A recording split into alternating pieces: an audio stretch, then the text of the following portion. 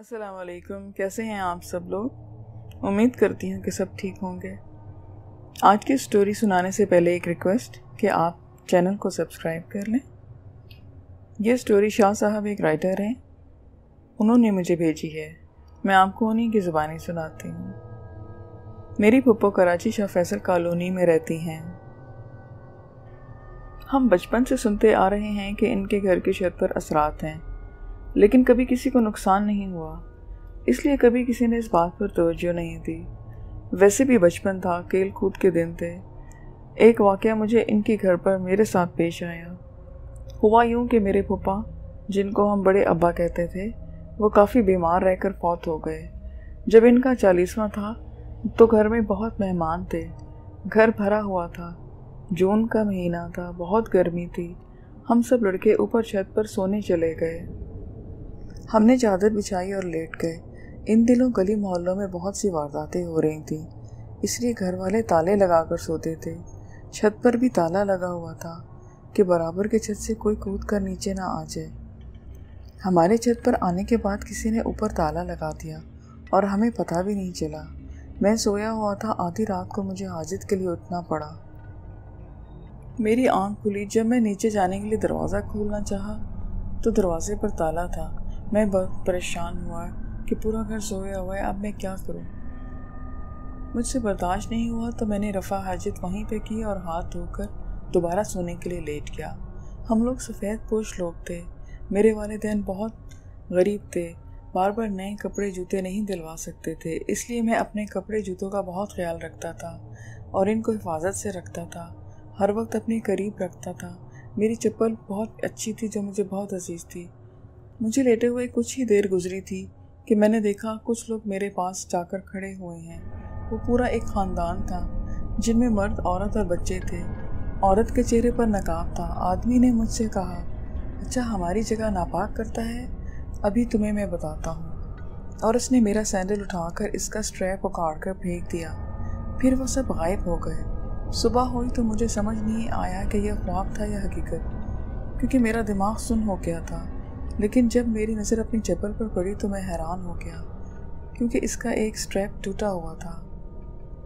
मेरे बाकी कज़न्स को कुछ पता नहीं चला कि रात को क्या हुआ था। मैंने अपनी प्यारी सैंडल के स्ट्रैप्स को हर जगह तलाश किया। बाहर गली में भी जाकर देखा, लेकिन वो नहीं मिला। फिर मैंने सैंडल मोची को भेजी, लेकिन वो नहीं जुड़ी और मुझे पहनना नसीब नहीं हुई। लेकिन इसके बाद मैंने कभी छत को नापाक नहीं किया। बाद में घर वालों ने बताया कि अक्सर छत पर लोगों की मौजूदगी का एहसास होता है। बल्कि जिन लोगों का खून हल्का हो, उनको वो लोग नज़र भी आते हैं। लेकिन कभी किसी का बुरा नहीं हुआ। तुमने इनकी जगह नापाक की तो बच्चा समझकर तुमको एक छोटी सी सज़ा दी, ताकि तुम इस चीज़ का एहतियात करो। वो उन्होंने तुम्हारी पसंदीदा चीज़ तोड़ दी और ऐसी तोड़ी कि कभी ना जुड़ी, और ना ही तुम्हें कभी दोबारा पहनना नसीब हुई। मेरी पुप्पो के किराएदारों को लगता है कि छत पर बच्चे भाग रहे हैं। जब जाकर देखो तो कुछ नहीं होता। किराएदार बहुत अच्छे और नेक और नमाजी हैं, सफ़ाई सुथराई वाले हैं। ऐसे लोग बहुत फलते फूलते हैं और ज़्यादातर अपने किराए से ज़ाती मकान में शिफ्ट हो जाते हैं। ये घर सबको बहुत रास आता है। अक्सर शादियाँ ज़रूर इस घर में होती हैं। मेरी शादी को चार साल हो चुके हैं। मेरा एक पाँच माह का बेटा है। मैं मेट्रो चैनल में एडिटर था और शाह फैसल कॉलोनी में पप्पो के घर के पास रिहाइश किराए पर थी। मैंने भी चाहा कि पप्पो के घर किराए पर ऊपर वाला पोर्शन ले लूँ, लेकिन वो खाली ही नहीं हो रहा था। मगर मुझे उम्मीद है कि मैं फिर से इस घर के पोशीदा मकीनों से ज़रूर मुलाकात करूँगा।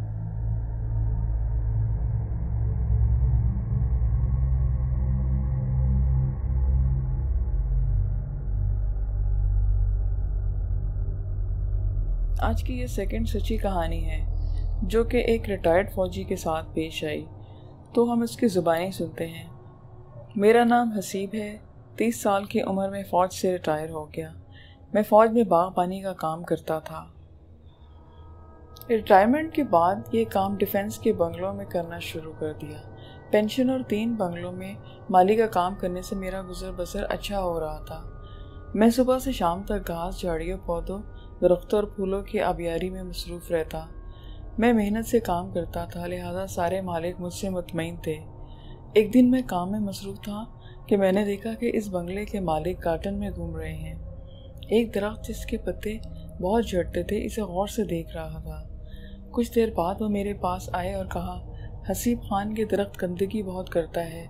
पत्ते हर वक्त गिरते रहते हैं। इसमें परंदे बहुत ज़्यादा आते हैं। और फल भी नहीं देते, ना फूलदार हैं। ऐसा करो, इसके दरख्त को काट दो। और इसकी जगह किसी फलदार पौधे को लगा दो। वो इतना गंदगी भी नहीं करेंगे। मैंने कहा, ठीक है, मैं कल कुल्हाड़ी लेकर आऊँगा और इस दरख्त को काट दूँगा। इसके बाद मालिक घर में चला गया और मैं अपने काम में लग गया। मैंने इस दरख्त को बहुत जायज़ा लिया। ये दरख्त तकरीबन पंद्रह इंच मोटा था। इसकी डालियाँ फैली हुई थी और इसके पत्ते खूब झड़ते थे। इस दरख्त के नीचे घास भी नहीं थी। जब मैं यहाँ पानी बराबर डालता था, लेकिन फिर भी इसके नीचे घास नहीं थी। इस दिन घर जाकर मैंने अपनी कुल्हाड़ी को तेज़ किया और एक रस्सी का बंदर लाकर दोनों चीज़ों को एक जगह रख दिया कि कल जाते हुए भूल ना जाऊँ। रात को मैं अपने मामूलात से फारे होकर सोने के लिए बिस्तर पर लेटा और नींद का इंतज़ार करने लगा, मगर नींद नहीं आ रही थी।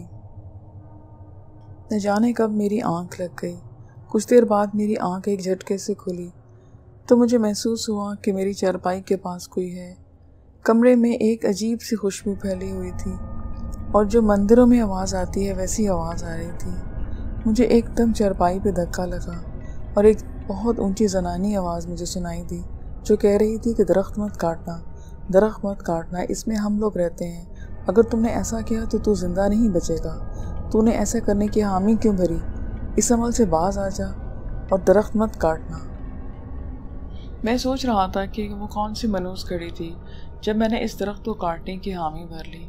मुझे क्या पता था कि इसका मुझे इतनी ड्रॉनी कीमत अदा करनी पड़ेगी। ये लोग मुझे नज़र नहीं आ रहे थे, मगर ये जो भी थे, धमकियों से लग रहा था कि ये मुझे पीस कर रख देंगे। कभी चीखने की आवाज़ें आती, कभी घंटियों की, और कभी अजीब गरीब आवाज़ें। खुदा की पना और कमरे में फैली हुई शदीद खुशबू खतरनाक सांसों की आवाज़ें चरपाई को उलट देना, नींद की बंदिश सारी रात यही चलता रहा। उन्होंने मुझ पर न जाने क्या अमल किया कि दूसरे दिन मेरा बुखार 104 पर पहुँच गया। सुस्ती और बदन इतना भारी था कि सर दर्द की वजह से काम पर भी ना जा सका। सारा दिन रात के वाक़े को सोच विचार करता रहा। किसी नतीजे पर नहीं पहुँच पा रहा था और रात से बड़ा डर लग रहा था। आज फिर कोई नया ड्रामा ना हो जाए। अल्लाह अल्लाह करता रहा बुखार और सख्त तबीयत की वजह से। मैं सोता और कभी जागता। रात के न जाने कौन सा पहर था, कि घबरा कर मैं उठ बैठा। और फिर तूफ़ान जैसे आ गया। शोर शराबा शुरू चीखने चिल्लाने और वही खुशबू ने बुरा हाल कर दिया। रह रह कर बदबख्त आवाज़ें, दरख्त मत काटना, दरख्त मत काटना। मैंने चीख कर कहा हाँ मैं दरख्त नहीं काटूँगा, माफ़ कर दो। और इसके बाद मैं बेहोश हो गया। होश आया तो सुबह हो चुकी थी। तबीयत सख्त ख़राब थी, लेकिन मैं हिम्मत करके उठा और बंगले पर पहुँच गया। खुशकिस्मती से मालिक भी मिल गया। मैंने इसको दो रातों की तफसील बताई। मेरे साथ क्या होता रहा, वो बहुत परेशान हुआ। मैंने कहा, मैं इस दरख्त को नहीं काटूँगा। फिर इस दरख्त के पास गया और वहाँ खड़े खड़े होकर मैंने माफ़ी मांगी कि मुझे माफ़ कर दो। और मैंने ऐसा सोचा, मुझे इसलिए भी माफ़ कर दो। अब मैं बाज आ गया हूँ और ये दरख्त नहीं काटूँगा। ये बोलकर मैं घर आ गया। इस रात मैं बड़े पुरसकून से सोया, क्योंकि मुझे किसी ने तंग नहीं किया, ना ही मेरे साथ कोई मसला हुआ। दो दिन के बाद मैं ठीक हो गया और काम पर जाने लगा।